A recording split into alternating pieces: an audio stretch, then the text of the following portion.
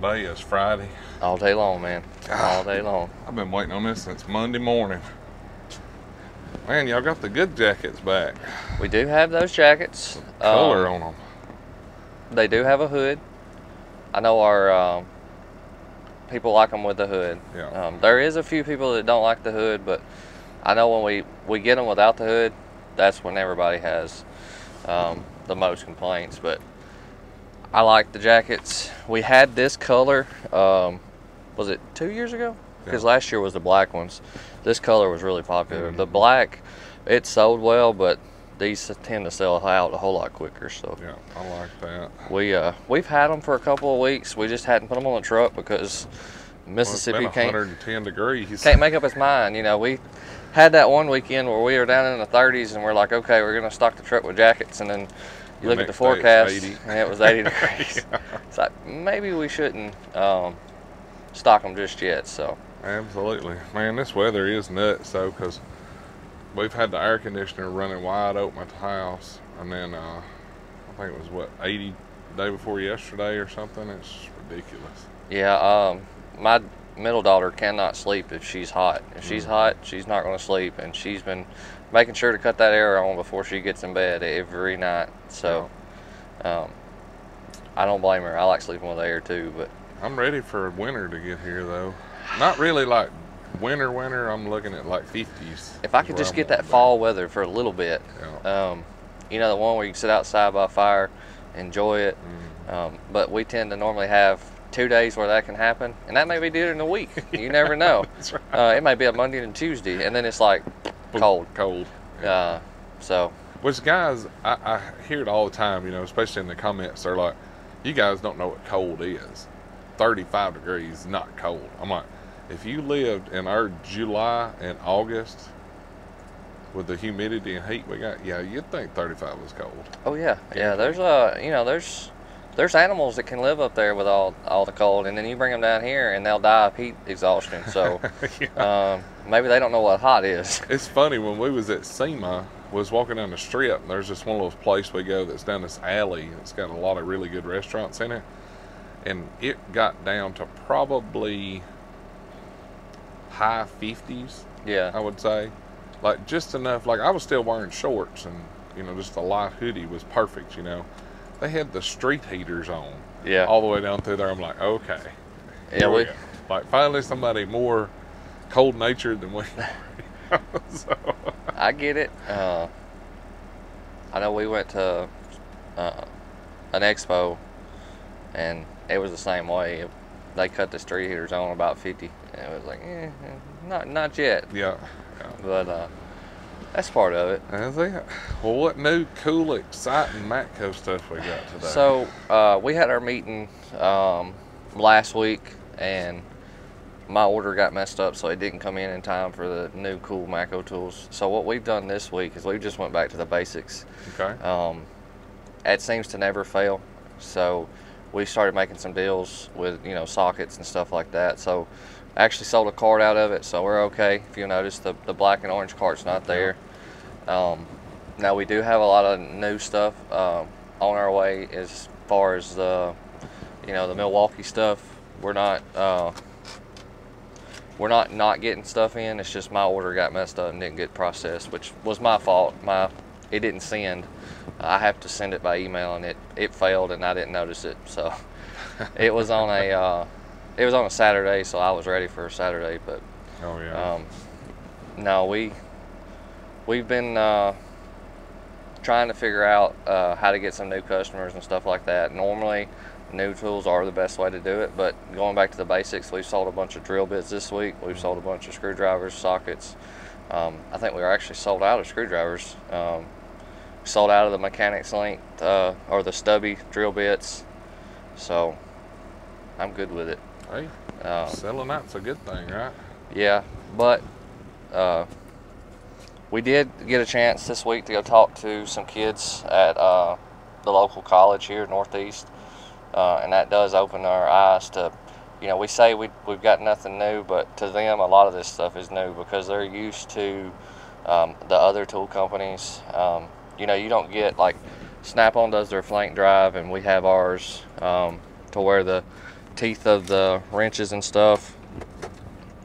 So you can see the, the deal there. So to us, this is old news. Um, and to most of the people watching the video, this is, you know, okay, well, that's nothing new. It's, we've had it forever.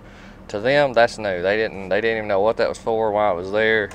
Um, they don't know about our screwdrivers and the handles and how they're designed for the non-slip, but also to keep the everyday mechanic from getting uh, carpal tunnel and everything because it will happen. Right. Um, so sometimes you just have to get go back to the basics and explain to them. You know, like the Opti Torque with our ADB sockets. Um, it looks like just a regular socket, but it does have the Opti Torque, so it makes sure and hits the um, the bolt or the nut and, and more spots. So it's not just the corners. That's something big. Uh, when we were talking to them, uh, we were explaining to them that sometimes when you buy uh, a cheaper socket, not all times, but sometimes what'll happen is you'll actually start to round the bolt and stuff. And the instructor actually brought up a good point about like in the turbos and stuff where it's really hard to get to. Mhm. That happens, it's not good. So uh, you've also got, um, we were explaining to them about some warranty deals and stuff like that. You know, they brought up, um, which I don't know if we've ever brought it up on the video, but they had act, the instructor had actually had his truck broke into, and all his stuff was gone. Well, luckily, when uh, another distributor found it, they were able to verify it with the law that it was this guy's stuff because of some serial numbers. So Right. that's always good. Which, you know, that's stuff we don't think about. So. Mhm. Uh, ratchets. Um, I don't want to get too far, but they are. Um, they are trying to make some some things with the ratchets better. Um, it's going to be over time. They're not changing the handles or anything like that, um, but they are going to try to make them.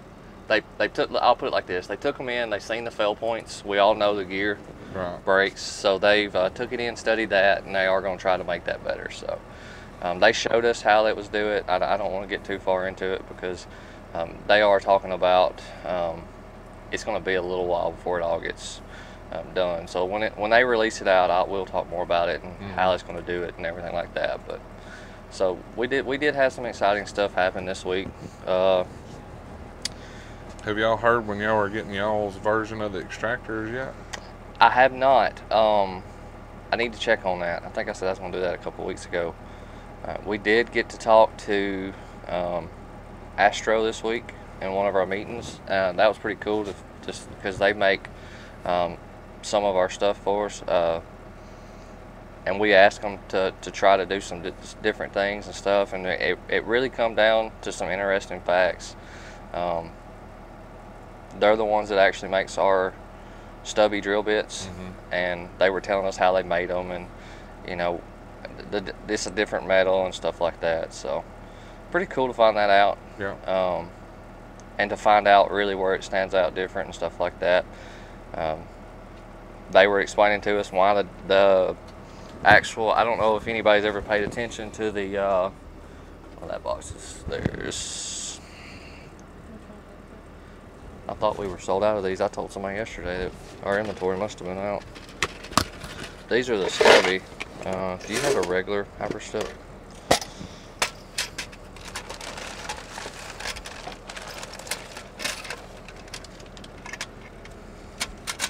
What size you need? Half. No, that'll well that'll work. So this is a half.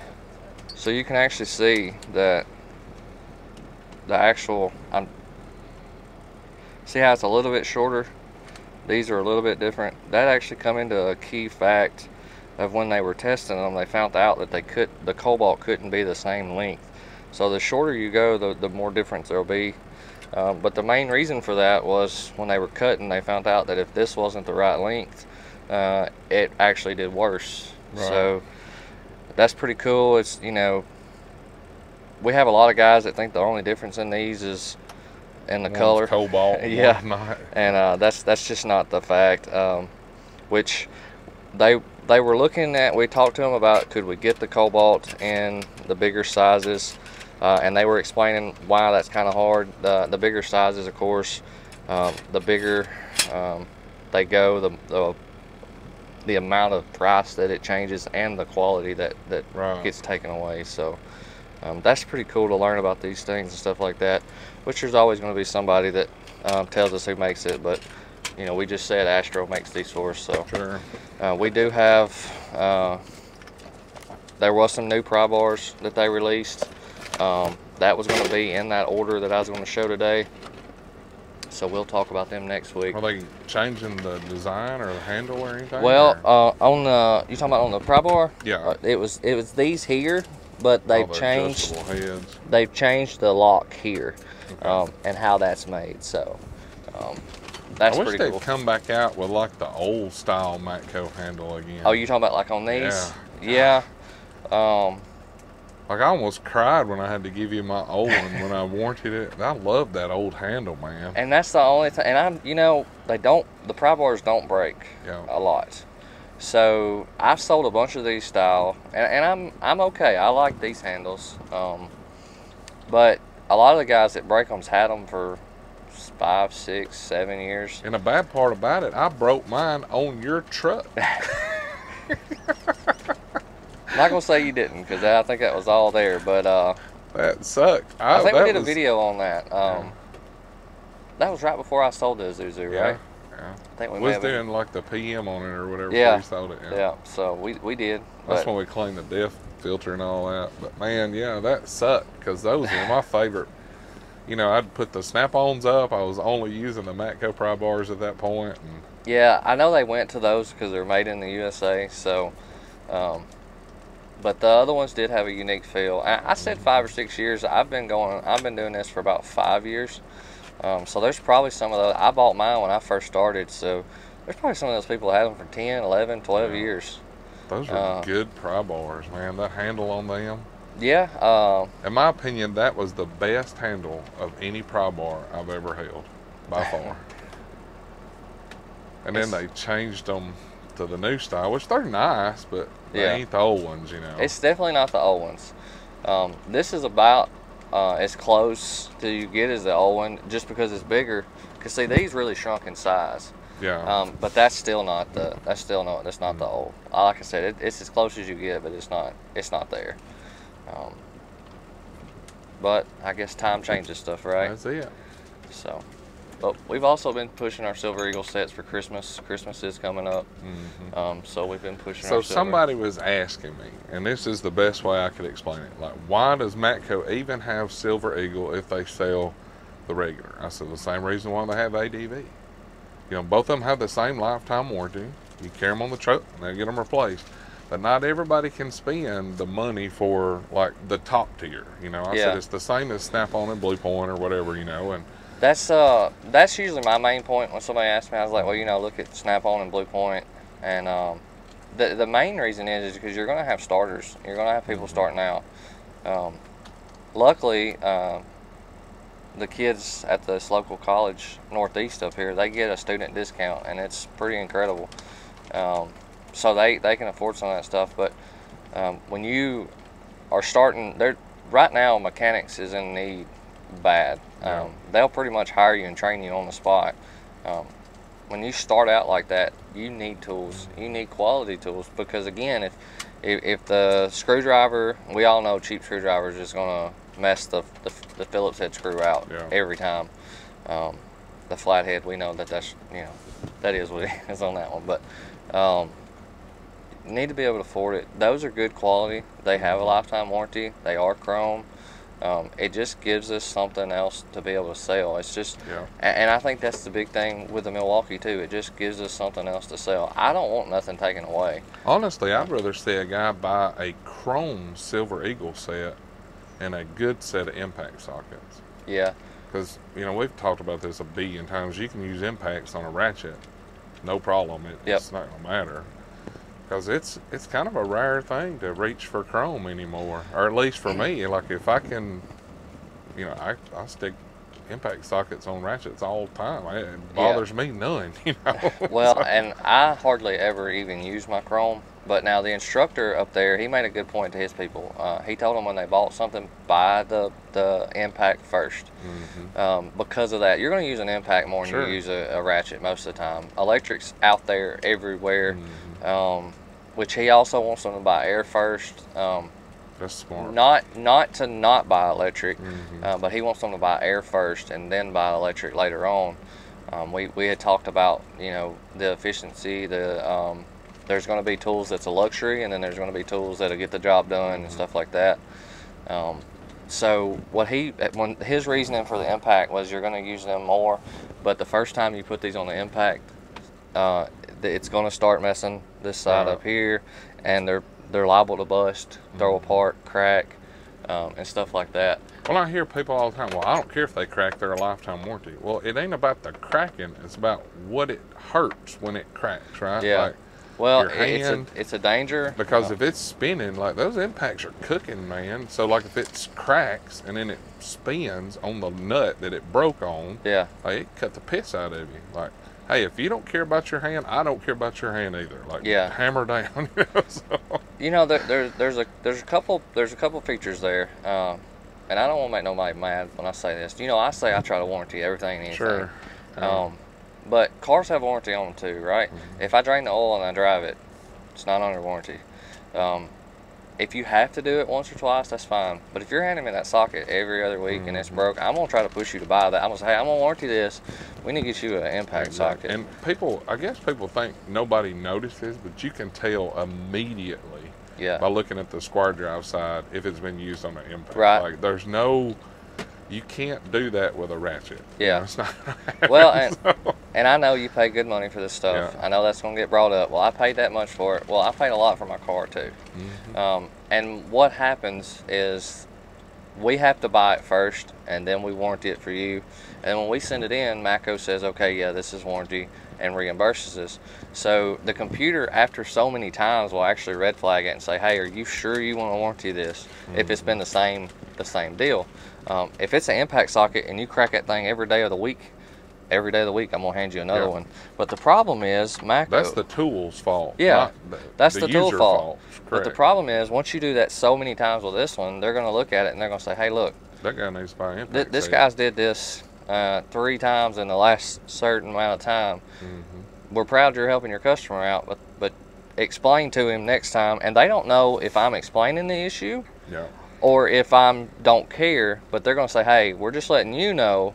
You need to you need to." Explain to the customer because if you don't, we're not doing it next time. They're Well, not. They're not taking it out on the customer. They're just telling me they're not going to warranty it. So, Well, I mean, the impact sockets are better on your impact. They work better on the fasteners. You know, that's what they're designed to do. And Yep. I don't know why anybody wouldn't want to use impact sockets. Yeah, well, I think put best uh, if it, if you take a piece of that to the eye one time, you, you're probably blind in that eye. So, um, not to not only that, I mean, I can see it. You know, what if you're doing it uh, and it flings and hits a windshield or it, or a side glass? It can cost you a bunch of money quick. I'd rather be worried about that emergency room visit because Well- I've had stitches from this shop and it sucks. Stitches suck. Um, they do. Like their weekly payments is not near as friendly as the tool truck weekly payments. no, they're they're pretty aggressive. They they do like to. And you want to talk about elevated prices? They, Absolutely. They, they Like, definitely People can say that tool trucks make the money. No, the hospital's where it's at, buddy. It's That's- like twenty eight bucks for an aspirin. You know. That's it. Well, we and we've talked about, um, you know, the service trust and stuff like that. If that, you know, tool trucks ain't the cheapest. I mean, we told them at that at the school. You know, tool Mhm. trucks ain't cheapest, and we had people pulling stuff up. You know, well, it's this much here.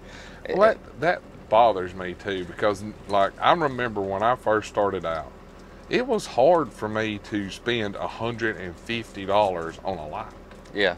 but being able to make that weekly payment, I could get some nice stuff. You know. So when we were t- when we were talking about that, um, especially starting out, it, if you're if you're a seasoned tech and your box is full and you're wanting this one thing, then yeah, you can go spend that money all at one time. Yeah. But when you're, let's take mm, our instance. Um, I was working. We had a child. I couldn't afford. My Mhm. paycheck was not because I wasn't doing the amounts of Sure. jobs. You know, you get them good paying jobs as a, senior tech, and you can get them done super quick. We all know commission. It's going to pay you quicker the more you do. When you're learning uh, on the fly, because I didn't go to school for it. When you're learning on the fly, uh, your paycheck's not big enough to justify Exactly. that. Well, I Uh, wouldn't have, and I, I've said this a hundred times. You know, like I wouldn't have near the tools or the quality of tools if it wasn't for the tool truck payment. Right. dude, two hundred fifty bucks for a half inch drive ratchet. That's that stings. Like, Yeah. you know, even Donald Trump would be like, "Oh, that's a little steep," you know, all at one time. yeah. Well, and, and a lot of times people don't realize if you come on and say, "Hey, I'm paying all at one time," you're going to get a discount. Yeah. Uh, uh, nine times out of ten, I, at least from what I've understood, Mhm. I know that's what we do. I don't want to speak for every distributor, but I would think if you went on there and said, "Hey, I'm buying this all at one time. What's the discount?" Sure, sure. Um, you're probably going to get a discount. Um, same way, uh, but you have that option to pay in payments, uh, and a lot of that is um, just because we have to pay a tool bill too. Yeah. Uh, that's the biggest misconception that Matco supplies us, this, us these tools and then we just sell them and then they charge us once they're sold. That's not it. Um, everything you see on this truck has been paid for in seven days. Um, so therefore, if it takes seven, eight, nine weeks to pay for it, um, I've done had to buy that tool once, twice, three times again. So, Sure.